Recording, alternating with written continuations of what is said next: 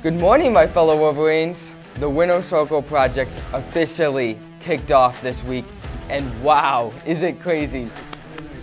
I wasn't really planning on doing it. I didn't really know about it, but I walked into school and there's a bunch of posters and I'm like, um, I really like the look and how like they sound and stuff and how fast I go. I like speed. Need for speed.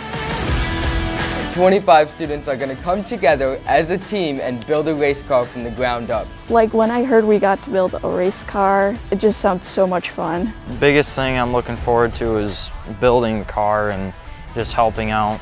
Kind of excited to just work with people and getting the motor all set up, race ready, seeing the car actually perform.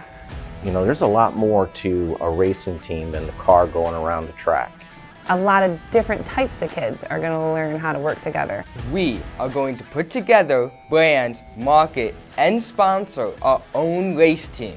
Knowing that we were going to bring this project on board and what it could offer some of our kids was just exciting.